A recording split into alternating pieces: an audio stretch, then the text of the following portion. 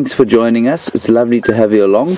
You're on a live safari in case you stumbled upon this website by mistake. Um, we're going to be trying to find the animals and other wonders that this natural paradise has to offer. On camera we have Phil.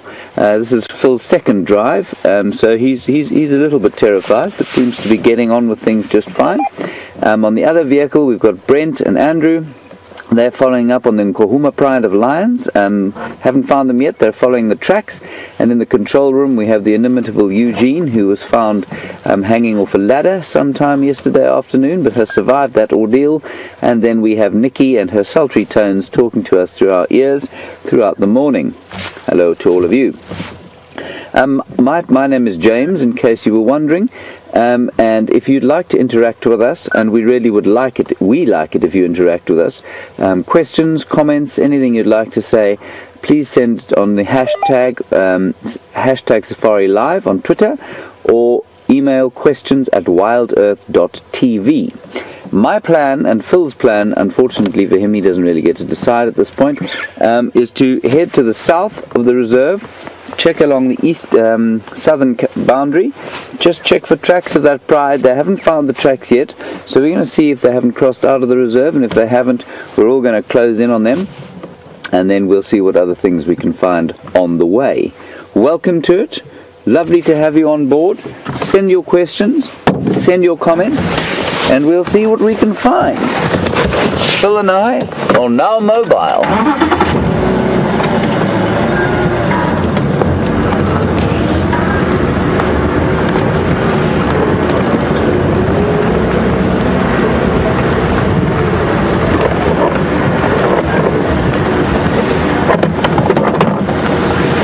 quite unusually warm this morning. Um, we're sitting in, it's probably, I'm going to guess here and then I'll, I'll get confirmation in my ear, but I think it's probably about hmm, 18 degrees, maybe even 20, uh, which in Fahrenheit is probably around 70. So I was right about the Celsius, 18 degrees Celsius and it's 64 Fahrenheit for those of you in the 17th century. Um, hard to say why it's so warm, uh, but for the fact that we're probably changing the climate of the planet through the machinations of our industry. But thankfully out here we don't have to worry too much about that. A beautiful freshness about the morning, especially with the sun coming up one side and the moon going down the other. I'll try and get you a shot of the sunrise when we get into a sort of appropriate position.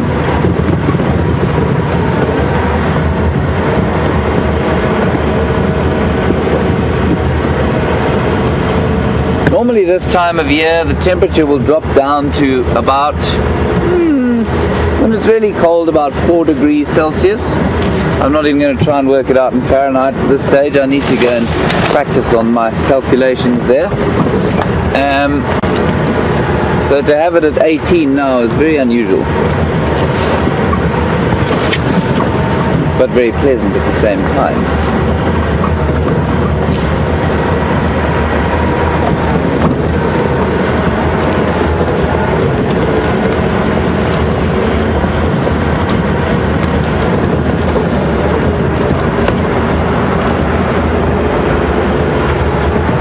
So if you're in Europe, you're probably just having yourself a morning coffee, watching the game drive, thinking about your commute to work. Sorry for you.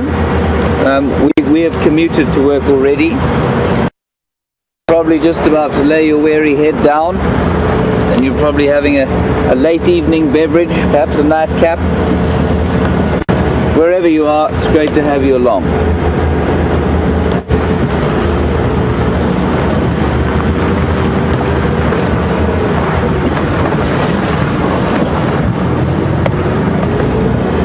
So far I have found no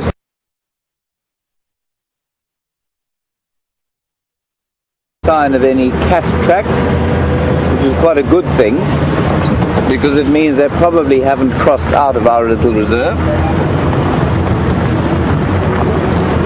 I think for some people who've never been here before, um, and it's important to understand that the 1500 hectares on which we operate, that's about 4,000 acres, um, is part of a far greater system. And there are no fences um, between us and our neighbouring reserves and the Kruger Park and the Greater Limpopo Transfrontier Park, which extends into Mozambique and into Zimbabwe. Um, there are no fences between us. So it's very easy. The animals don't recognize the boundaries. We unfortunately, because of our property laws, have to. I think about to be a magnificent sunrise. We'll try and get you.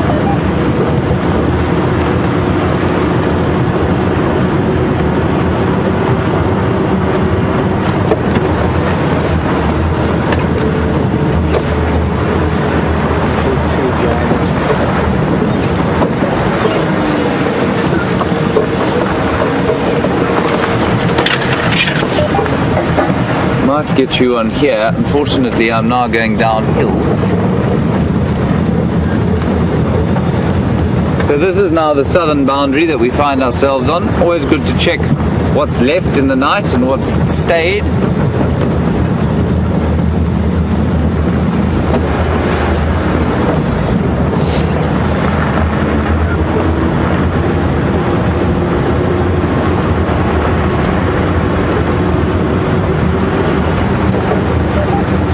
Get you a picture of the horizon, which is just magnificent from where I'm sitting. Hmm? Yeah.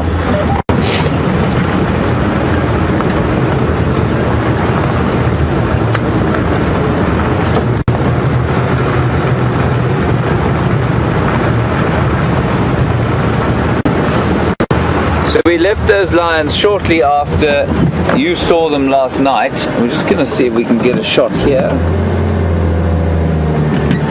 Phil, can you get that? Or should we go on to the next hill?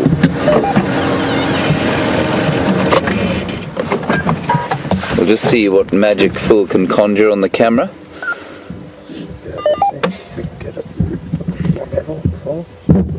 There we go. So I'm just going to have a little listen. It's always good to have a listen while we're looking at the bush newspaper that is the road in front of us. Tells the story of what happened in the night while we were all cozy in our beds.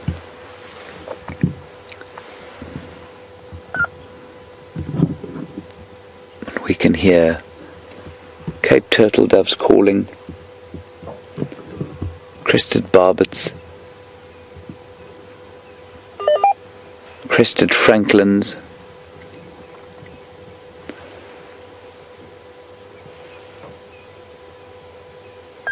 Southern black tits, rattling cisticolas, and here comes the huge African sun. Well, it's not the African sun, I suppose, because you all get the same sun eventually. It just seems to look a bit different here when it comes. There it is.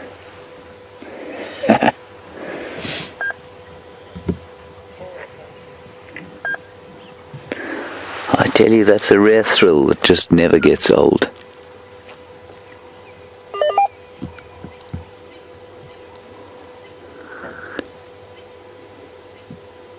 Amazing how fast it comes up. The world is spinning at such a speed, and yet here we sit in complete peace.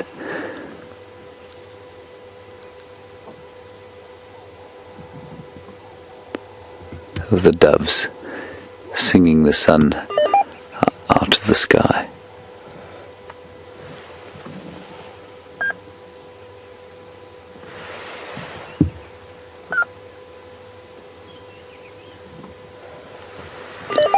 A few robins singing.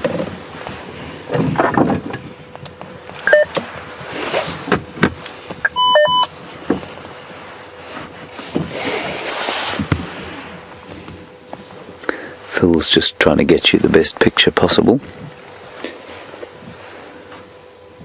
How he's got it now is pretty much how it looks in reality.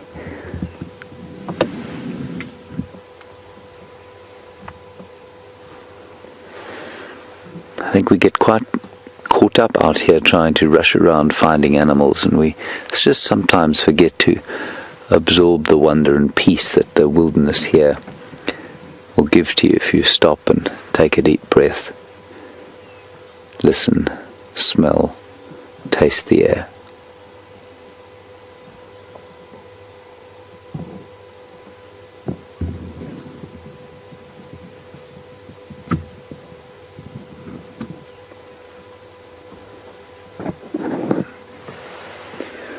Right, so as the sun is now popped over the horizon, so we will carry on along the road here and see what we can find. Nice one, Phil.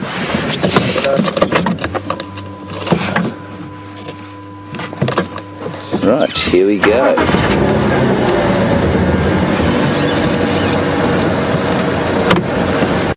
Find out from Brent and the others what's happening.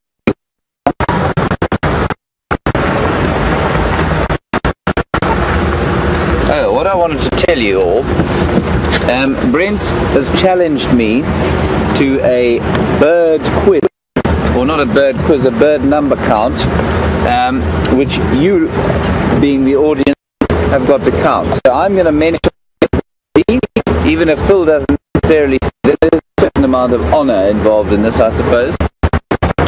And we're going to see who can see the most over the next three hours or so.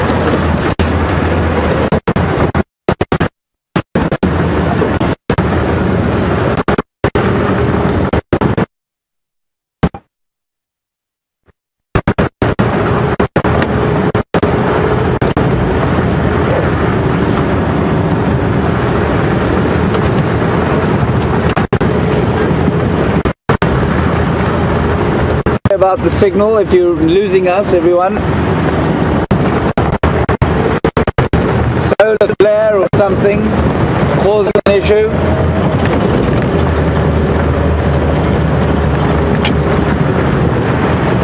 Speeding through the dips.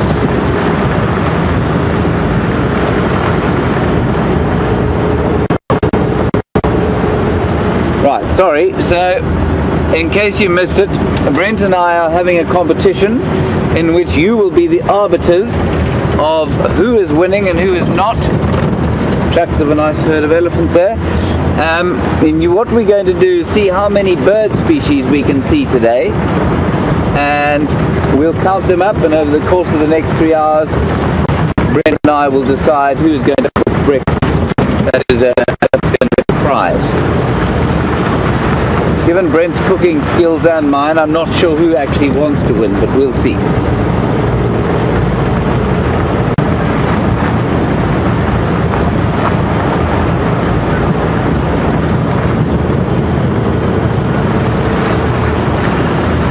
Lots of elephant movement here during the night.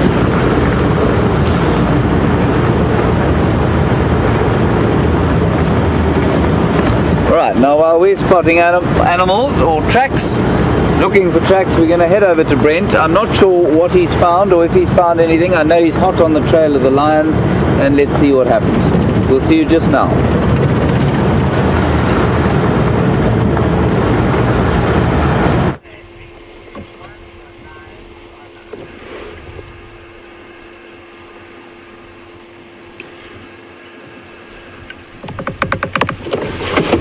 Morning and welcome on the Sunrise Safari. My name is Brent. I have Andrew on camera with me today. Uh, it's been, it is an absolutely spectacular morning. Uh, it's actually quite warm today, even though we had very little cloud cover last night. Sorry, R2D2 is beeping away. Um, but it has been an absolutely spectacular morning. Um, unfortunately, we went and looked for those Nkuhuma uh, lions. They have crossed to the north uh, and so we've left that area. We're going to start. We're checking our eastern uh, boundary, and thanks to all everyone who sent us the updates about the lions at Arathusa. Um, we're going to possibly head down that way uh, a little bit later if we don't find any tracks in this area, uh, and see what we can find there. Um, but other than that, it's really great to be out. I always love being out, and this morning is spectacular. We've got the sunrise and the moon, um, so hopefully the animals are going to be around as well. Uh, so let's get going going and see what we can find.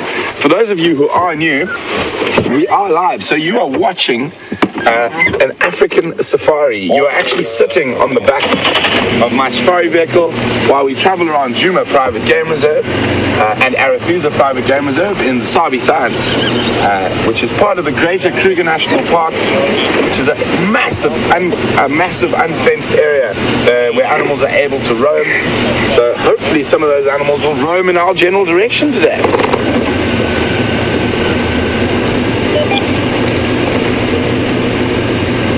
So, those of you listening to the beep, beep, beep, beep, um, that is our game drive radio, uh, and that lets us stay in contact with all the other vehicles in the reserve, giving us the best possible chance of finding animals for you guys.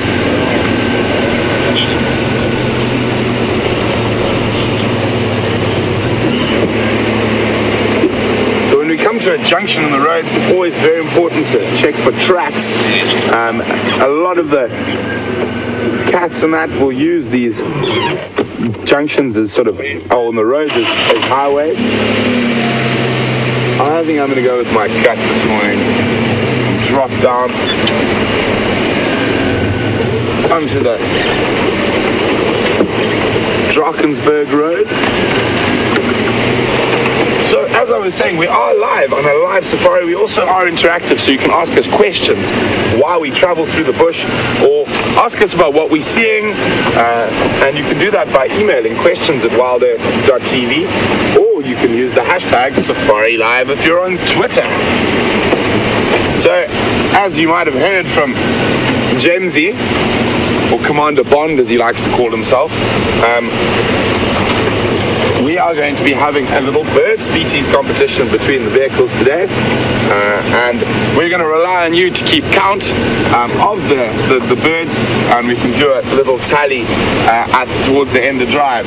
So the pressure is on to find obscure small brown little birds today.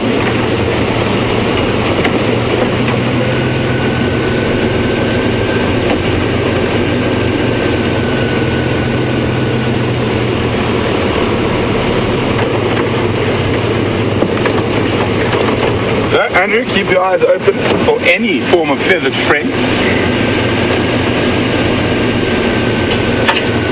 I've got my Hawkeyes on today.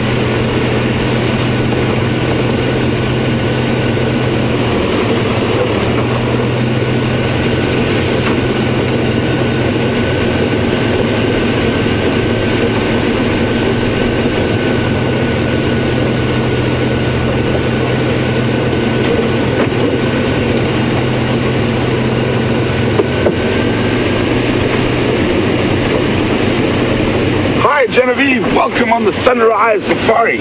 Um, Genevieve would like to know if the texture between the light and dark patches on a marula's bark are the same uh, and what's the difference going there.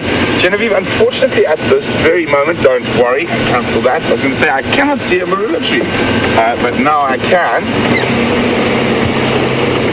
And strange enough, this marula tree is exactly where, the where we found the Nkuhuma Pride yesterday. So I'm just going to jump off the vehicle.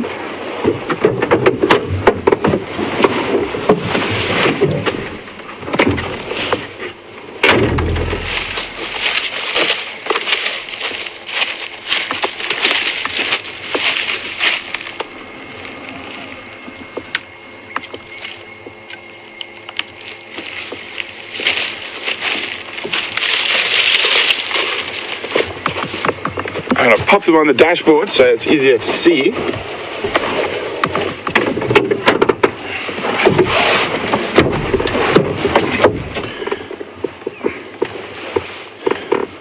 So, Genevieve, you can see this is some of the darker pieces here, um, and they are quite rough.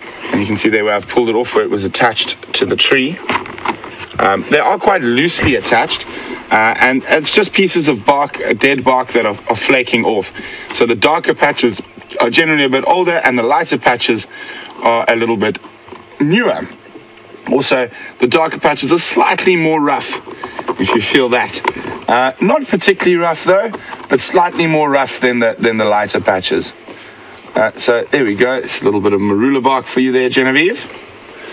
Uh, I hope that helps explain.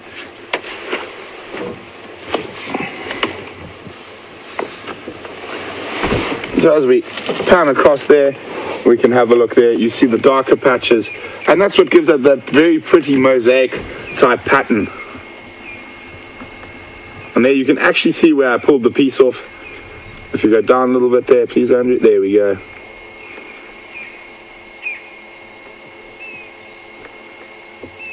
So very pretty bark, and with the, these pieces that are flaking off, um, if we break it open like that, you can see there's no living.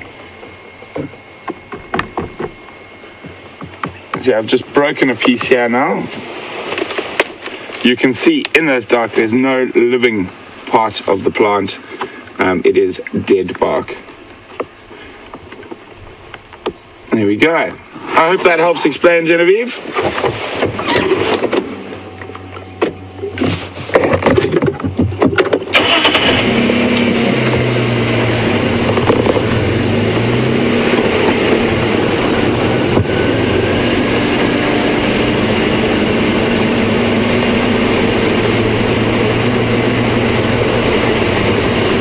Oh, that was close.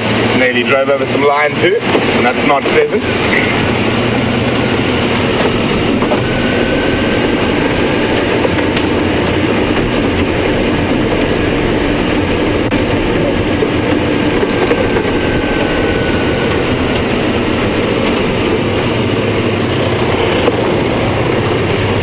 Hi, Chris. Uh, Chris Rogue Cropper, welcome on the Sunrise Safari. Chris would like to know what are the competition rules for the birding comp. Uh, yes, it has to be, you guys have to be able to see it. We're not doing calls, it has to be shown on camera. Um, otherwise, we could just make things up as we went along. We need you guys to moder- moderate us and make sure our competitive streaks don't get naughty. And I've got a little secret trick that I think's going to make sure that Jigger beats Wendy. Uh, and that is we are going to water holes today, specifically to pick up an extra few bird species. So we're about to arrive at Buffles Hook Waterhole at the moment.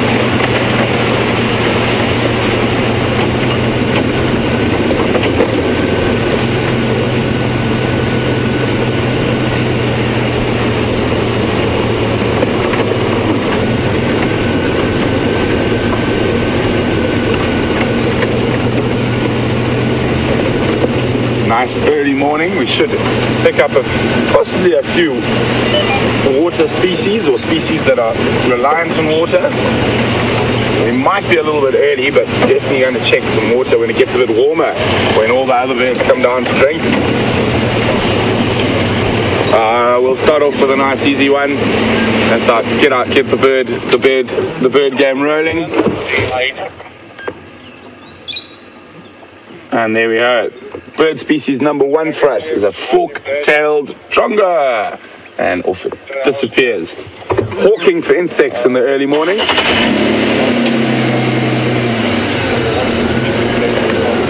So remember, you guys are going to keep count for us. Uh, we're not going to keep count, so you must concentrate. So there's our first bird species for Jigger, which is a fork-tailed drongo.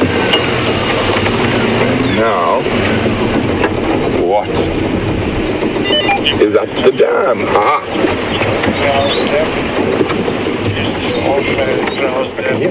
I can hear the parrots as well. I'm trying to spot them. I think they're, I can't see them at the moment. I think they're flying over.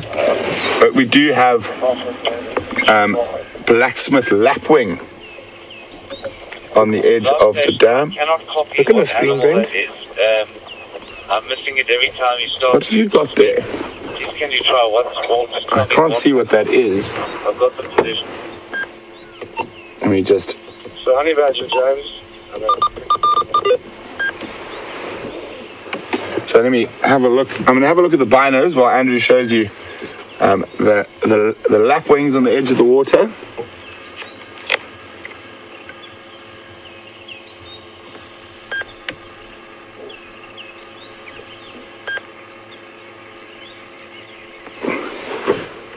We go, blacksmith lapwing, species number two. I was hoping for a few more species around the dam. Unfortunately, that bird Andrew found in the. Aha, I have figured out what it is. If we can go, go back to that bird in the tree.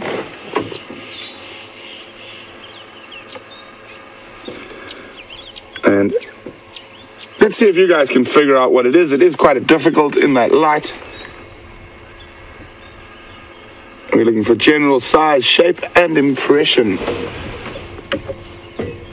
I think maybe we should go around the other side where the light's a bit different.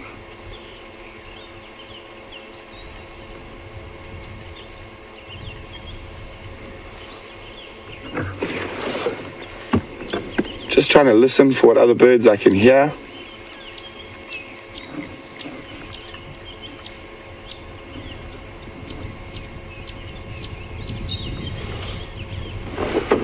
We're going to come back to that. See if you guys can figure out what bird that is. Obviously, it's much easier when I look at my binoculars. It is quite a difficult one, just judging from the light and where it is. Um, and you can send your answers to questions at wildearth.tv or use the hashtag Safari Live on Twitter. Now we're stalking brown-headed parrots, so we've got to move very carefully and quietly so they do not disappear.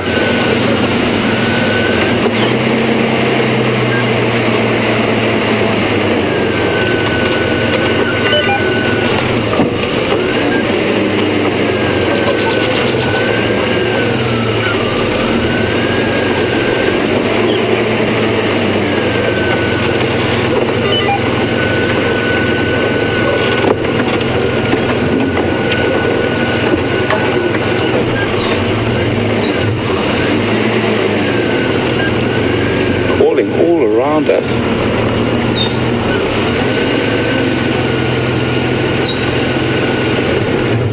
Okay. Sneak through. Yeah, I think there might. Andrew.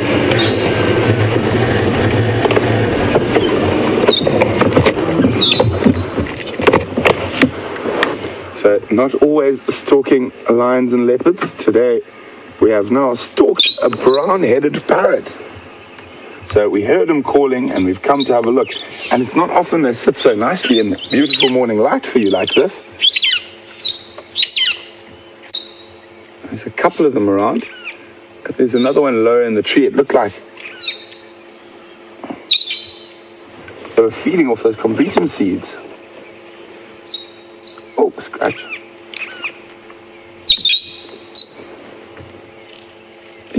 Feeding on the combretum seeds. Isn't that a fantastic? Unfortunately, hiding in the middle of the thicket at the moment, but. So, you can tell me which combretum that this parrot is feeding on? Which combretum is this parrot feeding on?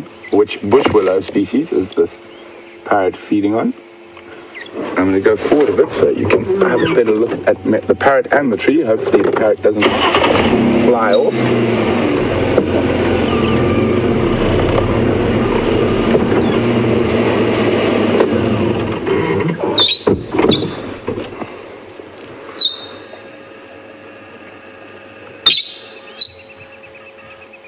You can see I'm picking the, the, the, the seeds. Oh, another two landed in that tree.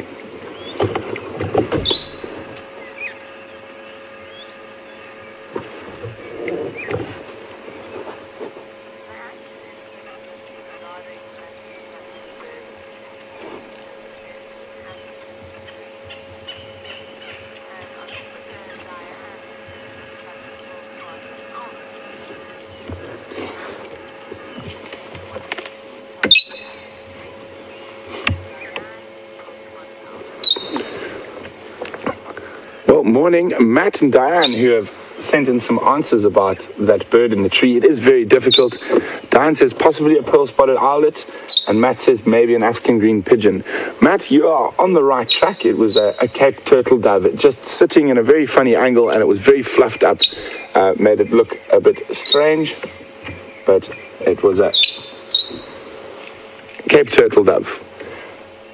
Now, this is a fantastic sighting of these these parrots. They don't normally stay long enough, and here we've got them feeding on a bush willow. And I said, who can tell me which bush willow? Very beautiful birds. Definitely don't have the best singing voices though.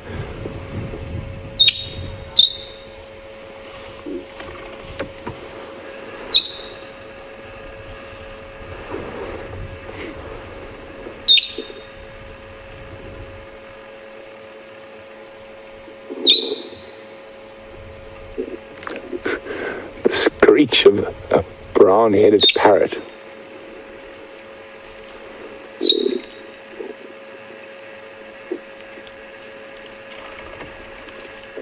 Oh, beautiful. There we go. We can see him now. Grab that combretum and he's going to open up and get to the seed on the inside. So what I'll do is I will find you a seed to show you what they're eating. I don't want to disturb them, obviously. Hey, man. Hey, Frank, morning. What's happening up in North? Ah, it's quiet.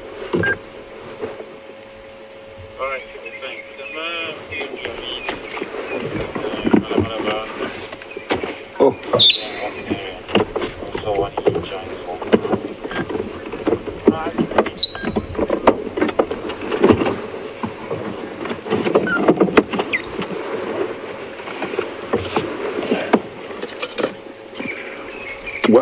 Well Katrina.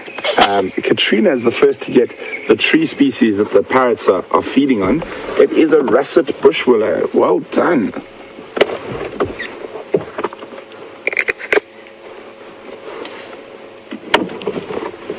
We didn't even get to show the branch or the bark and whatnot. Well done, Katrina. Oopsie. Just very seldom you get photographic opportunities like this with brown-headed parrots. They don't sit still long enough.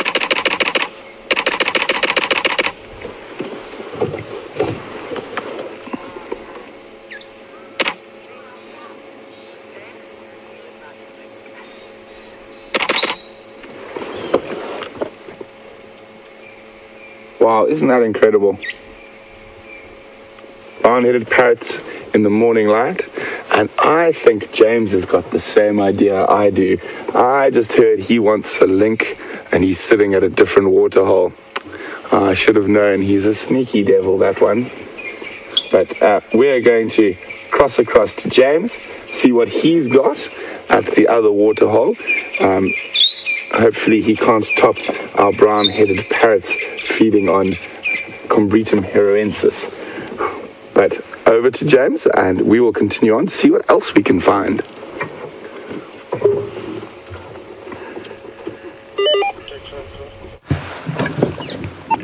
Welcome back to Wendy, everyone. Um, we're not we're at the same place you first saw us, um, but we've come back here having checked the eastern boundary of the reserve. I, in fact, lost myself slightly and headed most of the way into the Kruger Park. Okay, I've got three bird species here. I'm sure Brent has got many. That's a blacksmith lapwing you're seeing over there.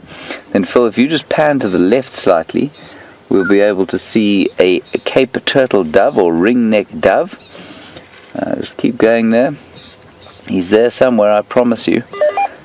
Um,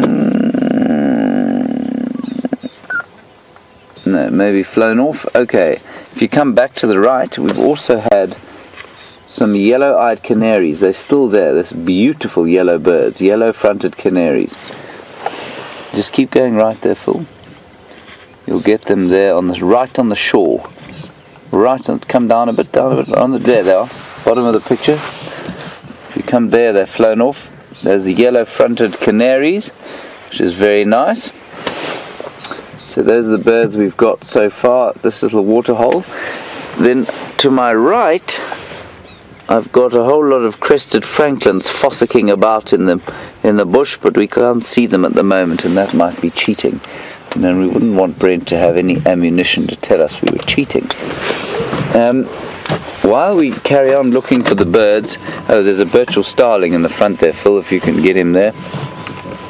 Right in front on the wall. There we have the Burchell starling, one of four gorgeous starling species we have here, and easily identified by his black eye. The other two glossy starlings have got um, yellow eyes. What we got there? There's a really nice shot of that canary, Phil. If you just yeah, just in front of the Burchell starling, coming down to the water's edge. If you keep panning there, you'll get him. It's a really nice shot of them. Look at those little birds. Isn't that beautiful? That's the yellow-fronted canary. Used to be called the yellow-eyed canary. That is a stunning shot of that bird. Wow. Little seed eaters. Okay, we're just going to sneak forward. Somebody saw a honey badger um, just up there. There's a termite mound in front of us here. And we're going to head off towards that termite mound now and just see if we can't um, find some evidence of them.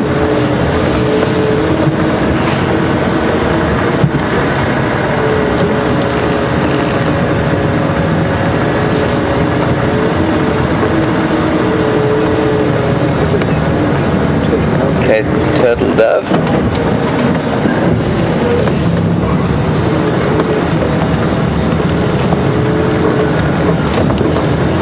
Honey badgers, much like the hyenas or wild dogs, will use old excavated aardvark holes in termite mounds like the one we've got here to our right. And this would be very special to see one because apparently she had some pups with her, which would be very exciting. See anything this side? I don't see a hole either.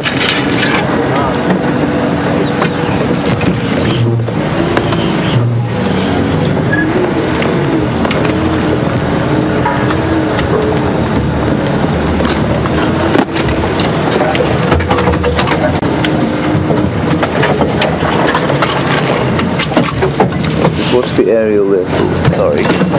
Um, Daniel on Twitter, thank you for your question. Um, we're not sure that we've heard from you before, so if this is your first time, welcome. It's great to have you along. Sorry, I've just decapitated Phil, never mind. We'll find another cameraman. Um, you want to know if I've ever seen a snake on safari. Um, Daniel, I've seen plenty of snakes on safari they're very exciting to see because despite the fact that there's the hole, I'm sure that's the hole that the honey badger went into. We'll have a look at it now and I'll tell Daniel about the reptilians that I've seen. Daniel, we see snakes quite frequently um, and it's very exciting to see them because they tend to be fairly you know they're, they're, they're, pretty retiring so it's quite rare to see them. It's very nice too to see things like puff adders or um, some of the cobra species uh, moving through the bush and it's incredible to see how they live. Um, but they don't pose any threat. Uh, people often ask about snakes because they're worried about um, the threat that they might pose. There's some brown-headed parrots coming along here. I believe Brent's already seen them though. Um, and the snakes so people are generally afraid of snakes. They think that there must be hundreds of snakes out here. People who don't live out here think oh we couldn't go walking in the bush. We'd be savaged by packs of rabid snakes mambas cobras puff adders and all manner of other terrifying reptilians. But that's not actually the case. We very seldom see them though I have seen quite a few um, because as soon as we they perceive us coming along, you know, they feel us walking on the ground. They've got special organs that help them to sense. They can't actually hear, but they will sense vibrations. Um, they move away. They really don't want to have anything to do with us. They want less to do with us than we want to do with them. Um, so, yeah, we have seen snakes, but they're generally moving away at quite a speed. Um, it's always exciting to see them. They're re- remarkable animals. Okay, we're going to carry on here. I don't think that this honey badger is going to come out in the day like this.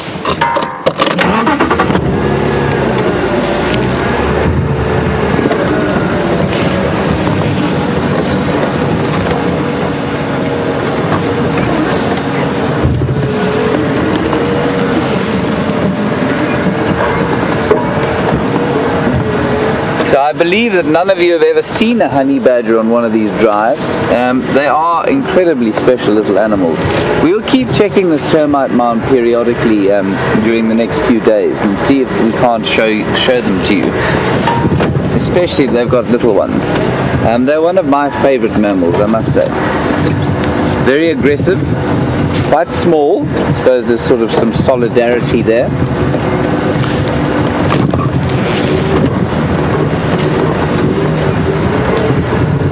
There go the parrots. Oh, that would have been a beautiful shot. Just got a really nice look at how green their backs are. We've got some doves up ahead there, full in the top of the marula tree.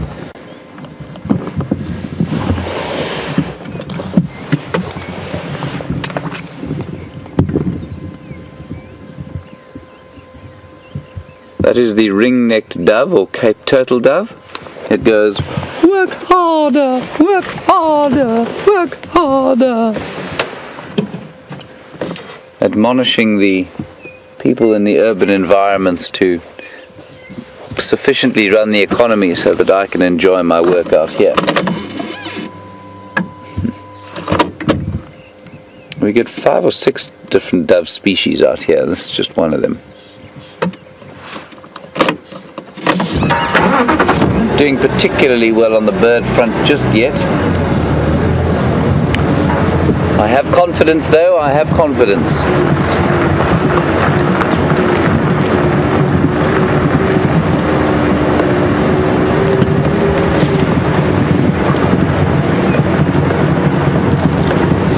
You can hear the chin spot batis in the background.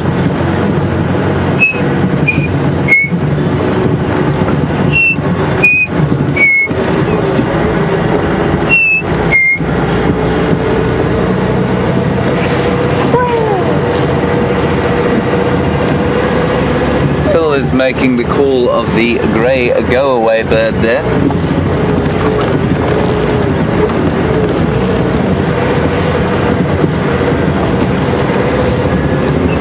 Really is very unusually warm.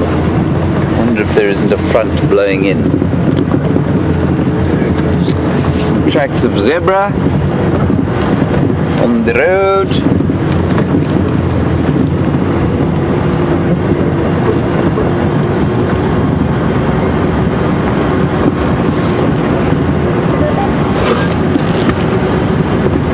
Georgiana in Illinois, thank you very much. You've told me I can count the parrots because Brent's seen them, um, even though Brent has seen them.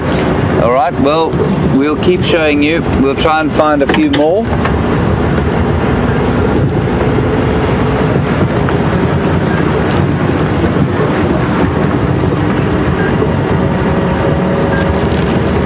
Course, if we were doing this, uh, if you were sitting behind me, we'd also count the birds that we'd heard. But I think that would be a little unfair.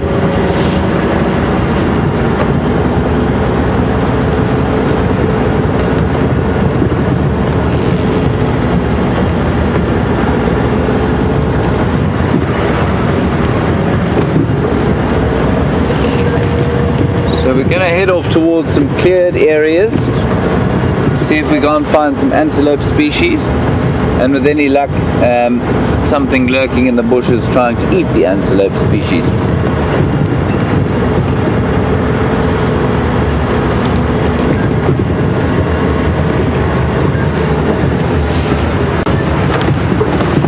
The moon is still up. We'll show you just as we go down here. There it is. Sorry, I've just parked Phil behind a tree so you can't see it. Uh, we'll just get behind this marula tree.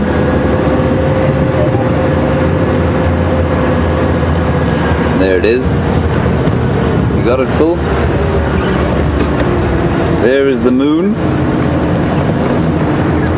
What an astonishing satellite that we have. Now I heard something what I fairly ridiculous, and I haven't managed to follow it up yet. But Stephen Fry, who runs a beautiful quiz show in in uh, in the UK, amongst other things, is an astonishingly intelligent man, is old Stephen Fry. Um, he he asked the question, how many moons does the Earth have? So of course everybody answered one because that's what everybody thinks we have.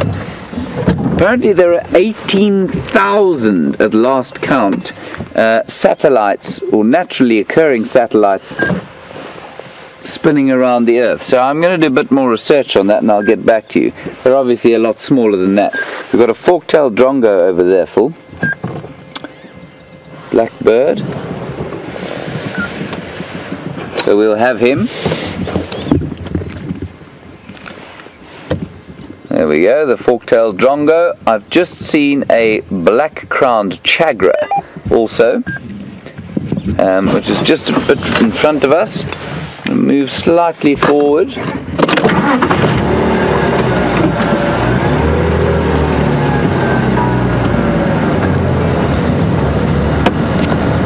Right, we're just going to sneak forward here. Black crown tchagra, there it is. At the base of this tree here. Base, yeah, just in there. He's sitting in there. He's now hiding from us. He's got a lovely liquid call that goes.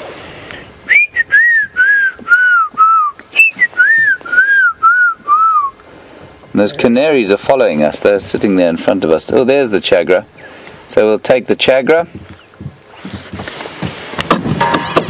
Something else sitting on top there. Did you get him, Phil? You know what he was?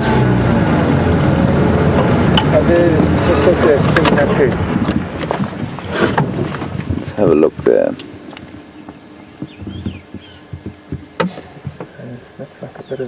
I suspect rattling cisticola. We've got those canaries on the ground there next to us. They seem to be following us. There's a bit of a bird party going on here.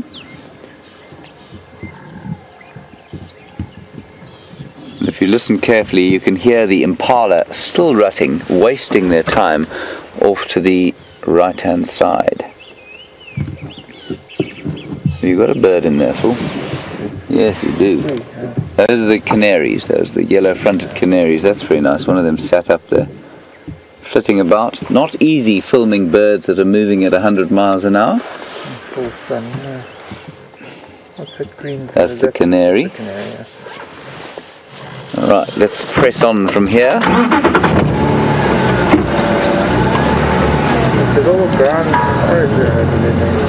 Okay, whereabouts? That's the. There. That's the tchagra. Has a quite nice view if you can get that tchagra. No, he's moved again. Black crowned tchagra, fascinating bird. Get away from it. Now, There's definitely a bird party here. Now, a bird party is when a whole lot of birds come together and they sort of feed in a group. And we're not really sure. I mean, they sort of eat similar things, and I suppose what they derive from it, the advantage they get from it, is safety in numbers so that they can spot predators coming through. A lot of little canaries around here. It's very sweet. Okay.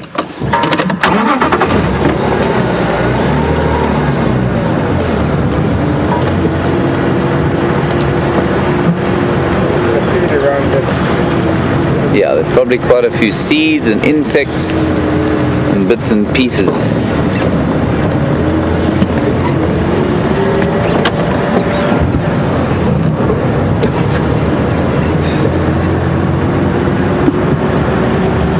See what else we can find around here.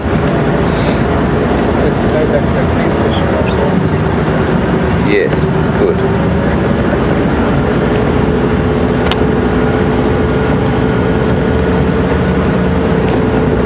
And I did see a wonderful fish eagle before you joined us again. He flew straight over the top of us and then he called.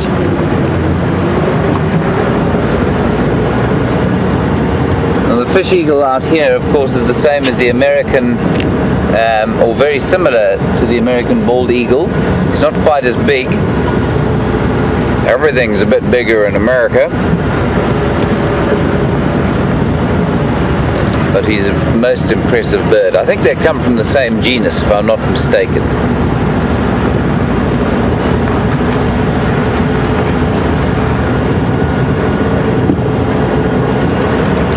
This is the most perfect day.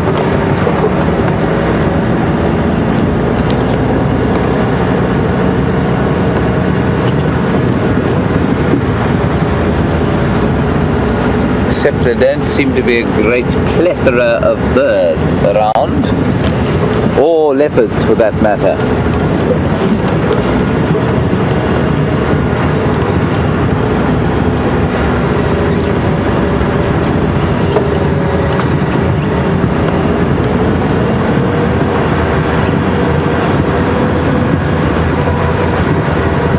Some gorgeous scenery.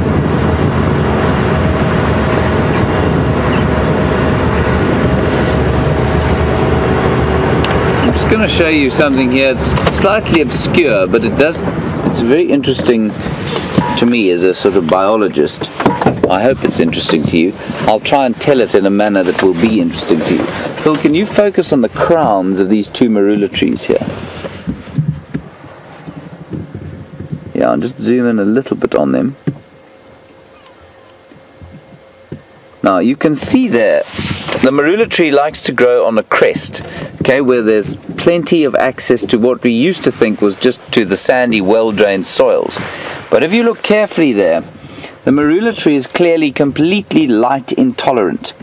Now if you look at those two trees, you can look you can see how the one on the left is clearly younger than the one on the right because it's grown out of the shadow of the right hand tree. If we cut down that right hand tree, there would be a very stark line beyond which the foliage of the left hand tree doesn't grow.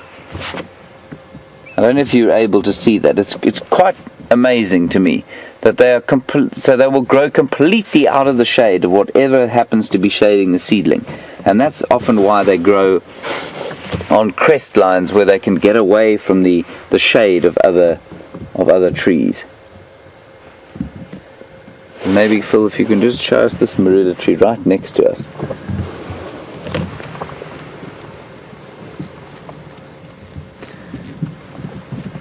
This one is particularly fascinating because you can see it's not growing out of the shade of anything, but it's been broken. If we just follow down the length of the trunk, you can see it's been broken at least once, twice, three times, four times by elephants. It's been probably snapped clean off and it's managed to keep growing. It's absolutely astonishing how those trees managed to survive the attacks of the pachyderm herds that come through this area. Isn't that amazing? Well, I hope you found it amazing. It's not quite as amazing as a, a leopard leaping on the back of a buffalo.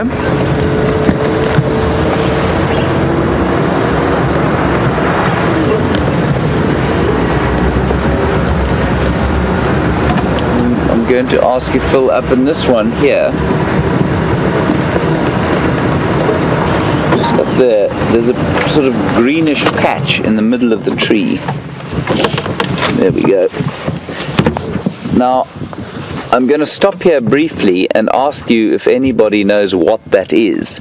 And if you do, please send through your answer quickly. I'm not going to dally here for too long. But it is a fascinating thing that it, it infects the tree um, with some form of in, uh, hormone, which in turn creates a, a swelling in the branch. And it's in that swelling that the rootstock of that plant lives. It's got a very sort of sticky latex in it, which you can eat. Um, you can also use it to, to trap birds. So you can extract the latex, wrap it around a, a twig where you know that the bird of your choice is going to come and sit, and it'll actually fasten their feet to the branch that what it, that they that they sit on. Any ideas as to what that is?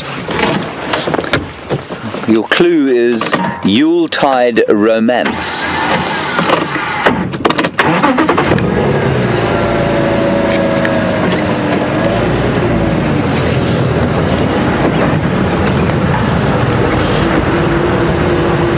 Right, we're going to cross back to Brent now. He seems to have found some waterbuck. And when I come back, we'll answer the question. See you just now.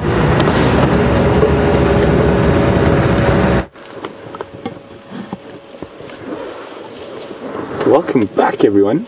We have stumbled on possibly the biggest group of waterbuck I have seen since I've been here, and there's two just to their bottom that looks like they've sat on a freshly painted toilet seat. Um, and that is a following mechanism, and here we can see the baby. He will be able to see that quite clearly, especially when they're in longer grass, or she might be able to see that, and that is what he will follow it. Follow mom. Oh, look at that. Any horse riders there, that was almost a perfect extended trot if there any Sarge fans out there. I'm just going to go back, but this is a massive group of waterbuck. How many did you count, Andrew? 14 or 15? Yeah. Minimum.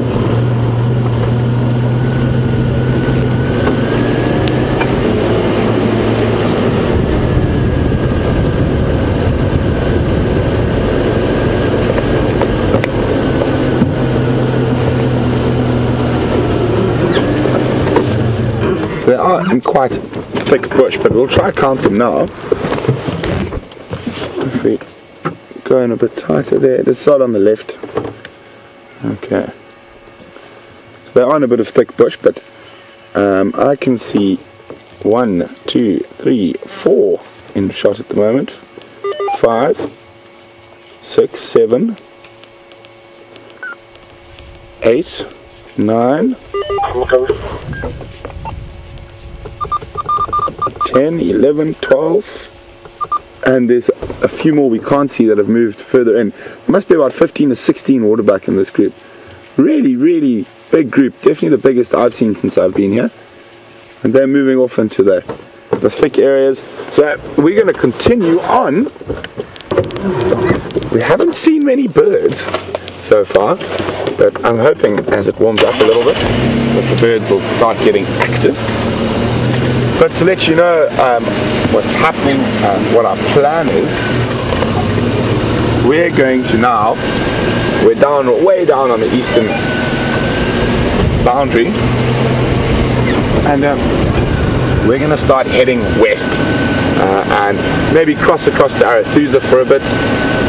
Ah, I see a bird. I see a whole flock of birds. There.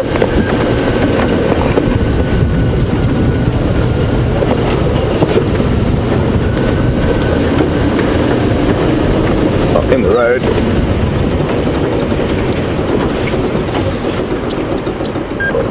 Here we go. They're such funny looking birds. Helmeted guinea fowl. Some more about to cross the road.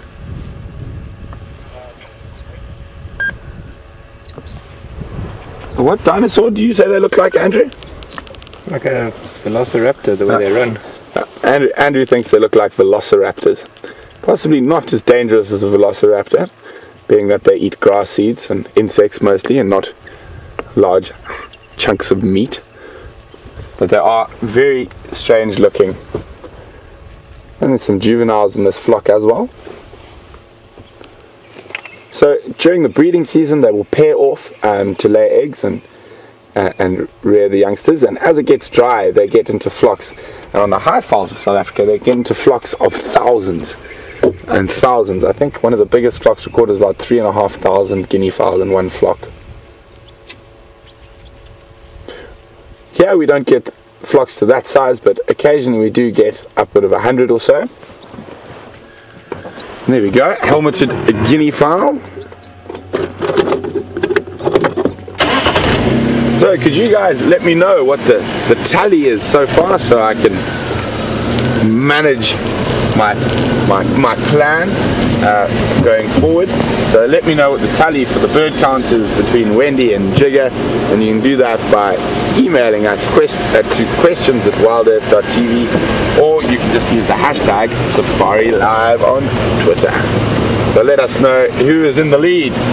Is it the Wendy or is it the Jigger? Uh, just in case you, someone might be new, those are the names of our vehicles. Um, this I'm on the Jigger this morning, and it's got that name because it had a for a while had a slightly wonking steering steering column, so it used to jig and jag across the road. And the Wendy, I'm not actually sure how the Wendy got its name, but uh, that is our other vehicle, and that is with James and Phil this morning.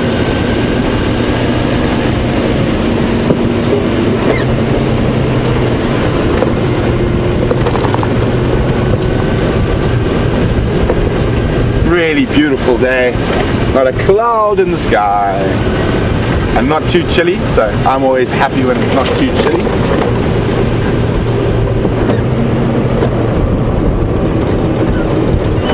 Oh, we've got some velociraptors running in the road. Separate flock of velociraptors.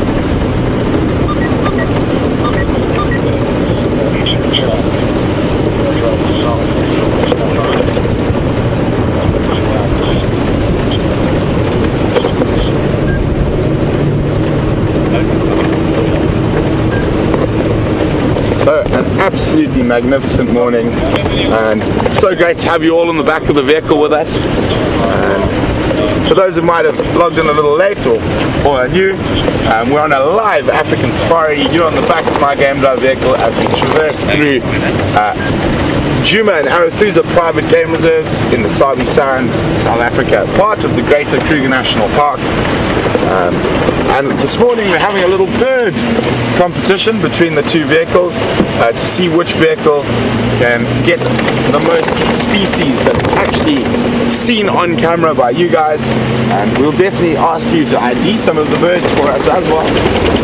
Um, so I hope you guys uh, have got your birding eyes and binoculars out and are ready to look for our feathered friends.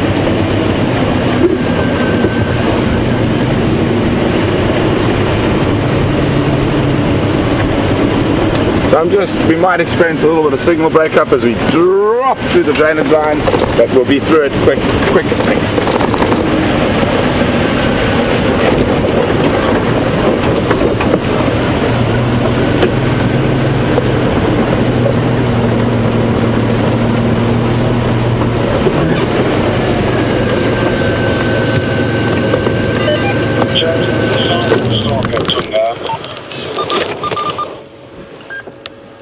There we go.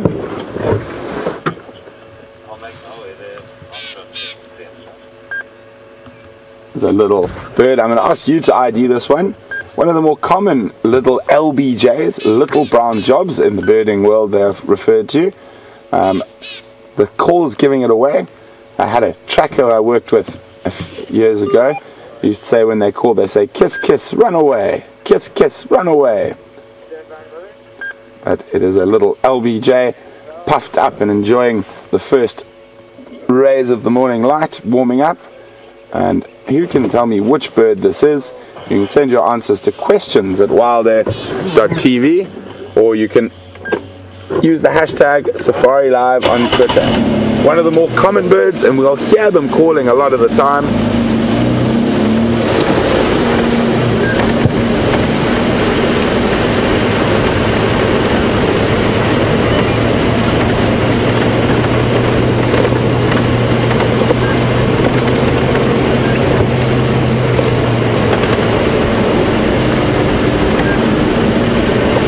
Always a an area that is used extensively by animals to cross in and out um, on our southern boundary.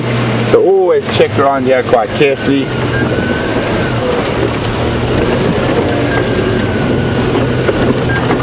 And unfortunately, today the tracks are going the wrong way. There are tracks of a male leopard here, but they are heading out of our Traverse area. Show them there quickly, Andrew. Am I too close? Yes, you got wide of it.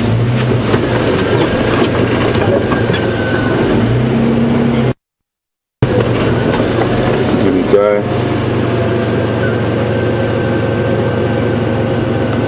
Male leopard track crossing out.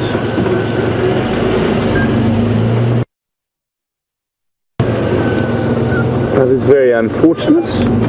But that is the way the cookie crumbles sometimes. Uh, other times the in.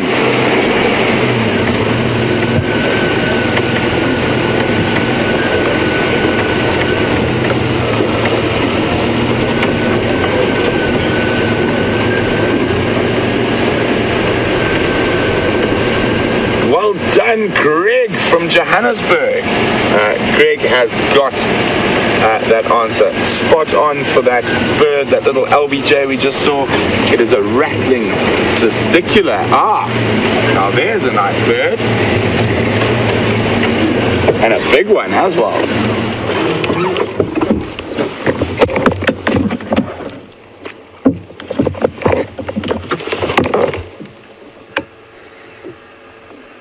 Let's just wait for, there we go. Beautiful big bird. Uh, and it is a saddle billed stork.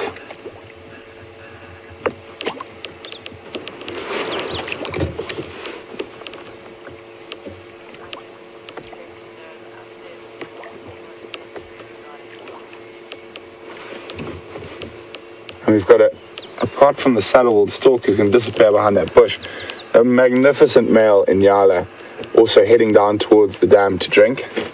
I'm just going to move forward a little bit so we can get a view of him. Might get some nice screenshots of him with the reflection in this nice still morning. And also, Scotty's out here, uh, out in the bush tracking, giving us a hand this morning.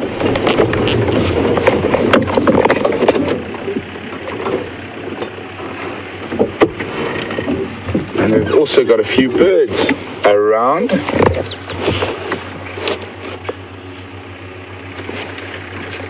So let's have a look at that Nyala.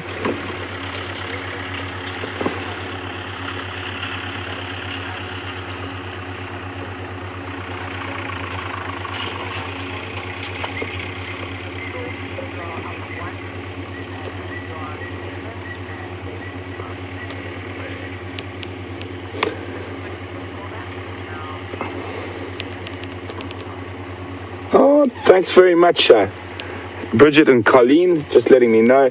Uh, with the stork, we've just pipped ahead of James, and we are now on seven bird species, and he is on six. Oh, very interesting behavior he's doing there. Um, he might, he was putting his horns in the mud. He might do that again once he's finished drinking, uh, and that is to make himself look more imposing to other male Inyalas. But isn't that a spectacular sight? And perfect early morning light, reflection. There's another big male also coming down.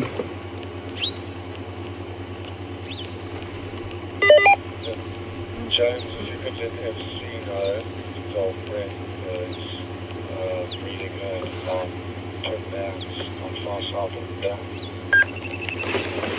Probably the north of the dam.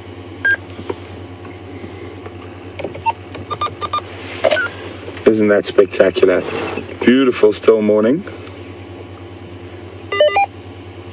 And R2D2 is beeping away. I'm actually going to turn R2D2 for off for a while so we don't have to listen to the beeps while we look at these male Nyala. Look at, there we go, putting the mud on his horns.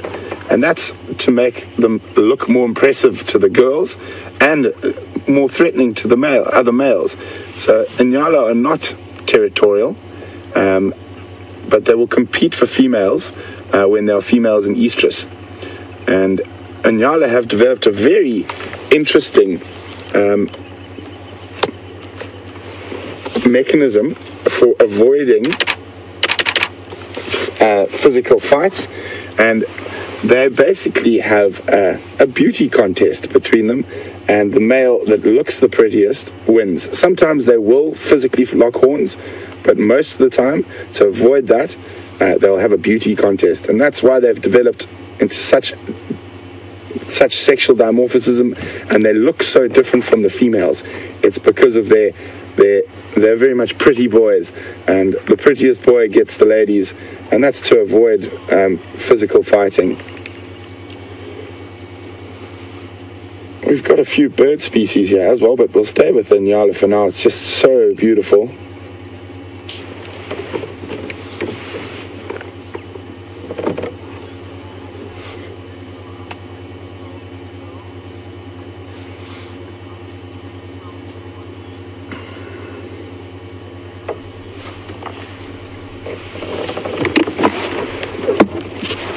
Morning, Lynn. Uh, welcome on the Sunrise Safari with us. Lynn would like to know how tall that saddle-billed stork is. Uh, Lynn, it is a very big bird, um, and in centimeters, uh, they get to about 145 centimeters, so very tall for a bird. Um, and he's hiding, but we can just see his head through the guarri bush where that Inyala is walking towards. That's first Inyala. If we go in there, we'll see the stork just behind there. Oh, he's moving further into the bush. But I'll, I'll definitely try to get us another view of him. But Andrew, if we go to that little acacia to the left, um, there are some birds sitting in there that everyone knows quite well. That one there, if you zoom in on that bush.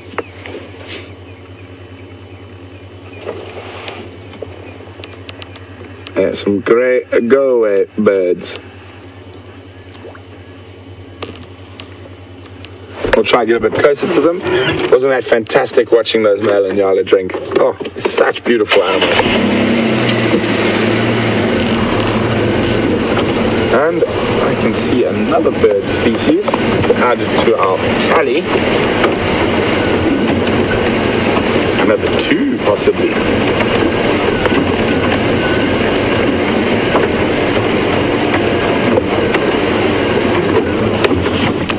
Running around on the ground in front of us is one of the francolin or spurfowl species. And that is a Natal francolin. And hopping across the open ground, surprising by itself. Normally there's a few others and just going to try sneak forward and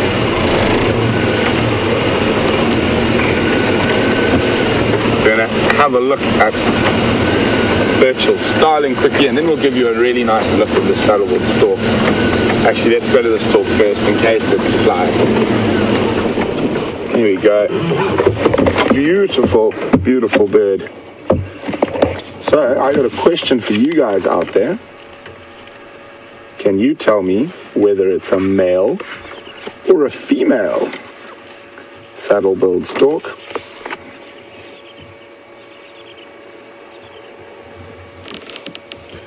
If we can zoom in on their face, please, Andrew. There's those Inyala in the background.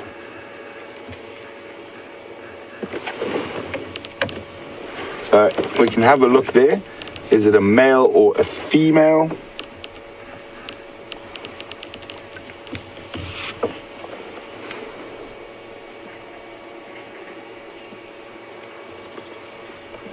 Oh. Isn't that beautiful? Striking colors on those birds.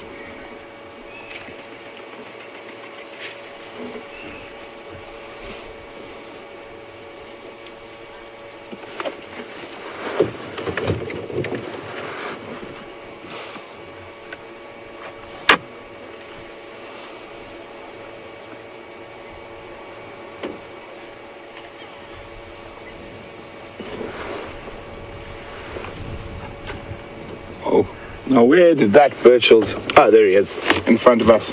Starling disappear too.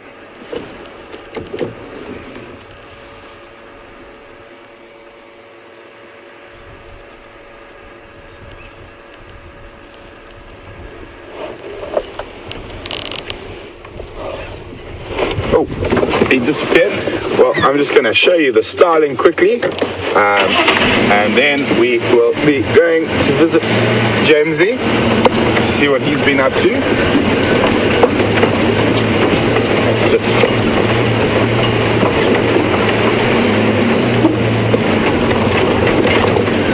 Where did it go?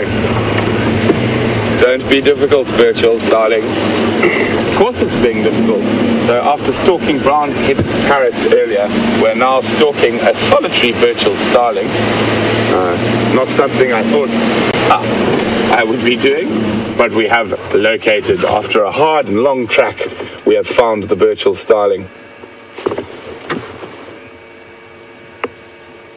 So there we go, feeding on what looks to be little insects in the grass. And we're going to cross across to James and, and Phil and see what they've been up to. Uh, and hopefully they don't find too many birds.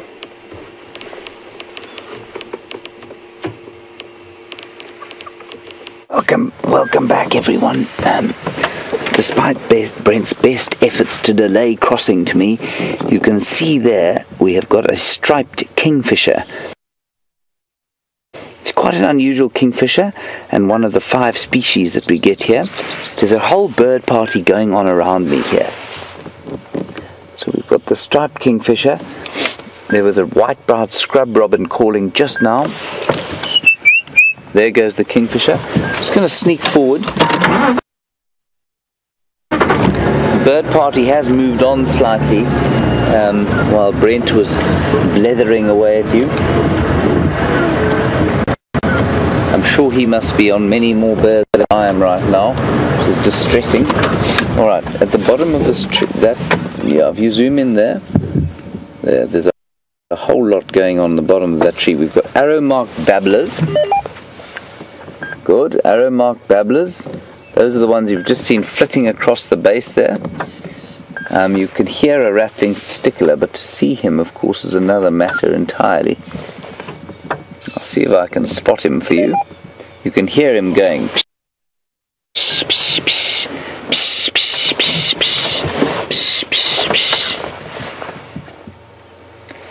What else can we hear? Ooh, what is that? I think that's one of the babblers. It's quite nice. They move in little flocks. And that is a cardinal woodpecker. This was the small woodpeckers that we get here. A cardinal woodpecker. So called cardinal because of that little red head that he's got, which looks like a cardinal's cap. Well done. Great shot, Phil. And what else have we got? Lots of babblers. Could we see those birds that were going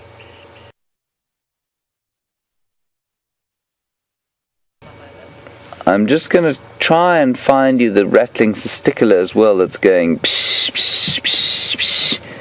But unfortunately, he's quite retiring when he wants to be. I'm going to make now the call of the pearl spotted owl, which you've heard me do before. Often that brings out some of the birds that are a little bit more aggressive.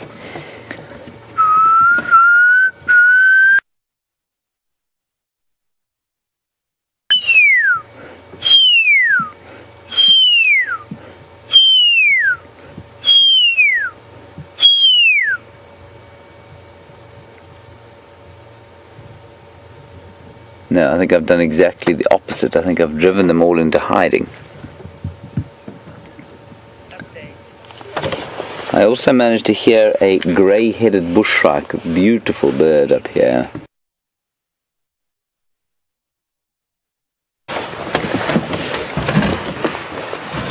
And then the first people in was Georgian on email and Safari on Twitter. Those are the first two, Georgian on email, Safari on Twitter, and many more people afterwards. And they'll Okay, so we're now going to just while I'm sitting here waiting to see if I can see plant was that we saw growing in the boughs of the marula tree. The Yuletide romance was your uh, your clue. Uh, we had Georgianne on email and Safari on Twitter who came up with the two, first two correct answers. Um, as usual, I'm astonished by the number of that's a fork-tailed drongo. Unfortunately, we already have him. Um, there, I'm astonished by. Um, and the answer, of course, is mistletoe over here. White-browed scrub robin in the bush here. Got a white-browed scrub robin, not very easy to see very often. There, you could you still got him there, Phil? So the answer was, have you got him to the left slightly? No, left, left. No, he's gone. Oh well, never mind. The mistletoe, of course, is a parasitic plant out here, and it grows on the marula trees. And well, parasite, epiphyte, difficult to say. It doesn't seem to do too much harm to the tree, but it definitely does feed off it. Another one filled same bush as the as the scrub robin was in. Ooh, we've got a fire finch there. Did we get him?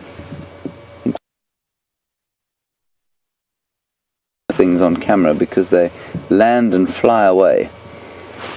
Um, seem to be conspiring with Brent today, which is rather distasteful of them, I find.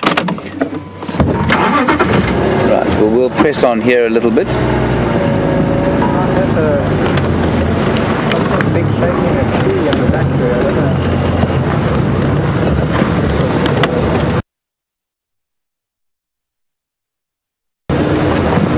Predator, big predator. There was a tree shaking in the back there, behind the stick. Phil just says he's heard something. We're going to stop and listen for a while. That tree behind the, the green one in front of us. There's something climbing in front, climbing and it's all shaking. It. Probably a, a francolin. They tend to make a huge amount of noise, and I've so It's often. moving the tree. Oh, okay. The tree was You can hear the woodpecker pecking away. Yes, it was the wind. There's a bird on the ground there. It's a tchagra. We've seen him already. Can you hear that? Just listen carefully.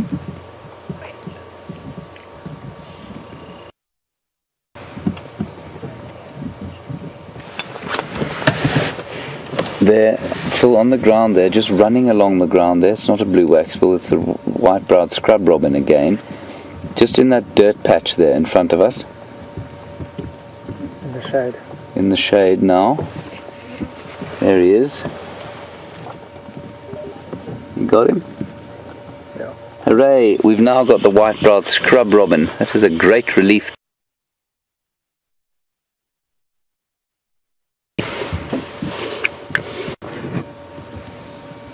Question from Trudy. Morning, sir. On Twitter, how far are you from Londolozi? And it's Trudy. On Twitter, while we wait for the next avian delight to land in front of us, um, you'd like to know how far away we are from Londolozi. Well, and seven kilometers, probably about seven kilometers from where I'm now sitting.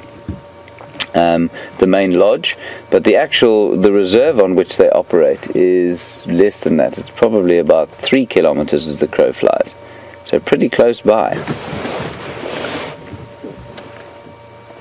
Just going to sneak forward a little bit here.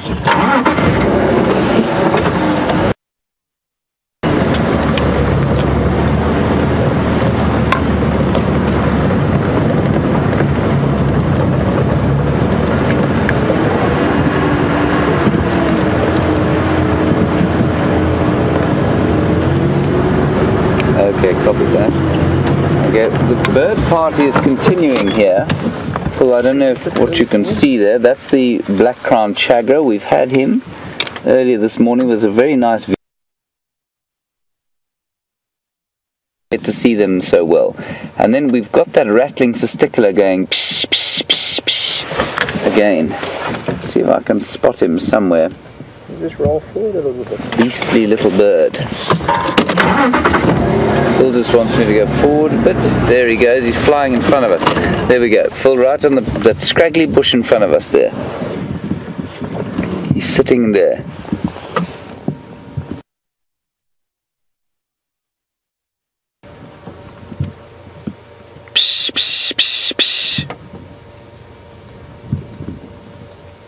No, he's gone again. He's really behaving in an appalling fashion. I can hear the woodpecker going behind us again. So you can see the birds are moving up together in a sort of in a group. Fascinating little bird party we have going here.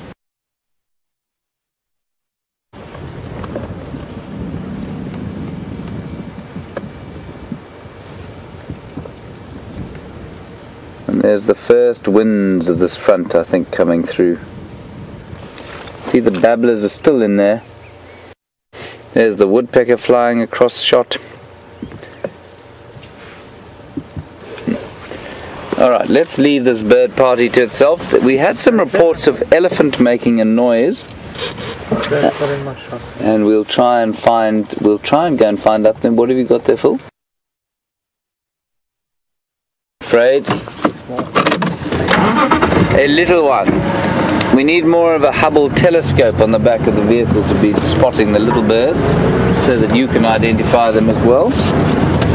Right, so we're going to head across to a little place called Twin Dams, which I think is where you were with Brent fairly recently. And Scott, who's out using his own camera and just looking about the bush, had um, some reports of and sound.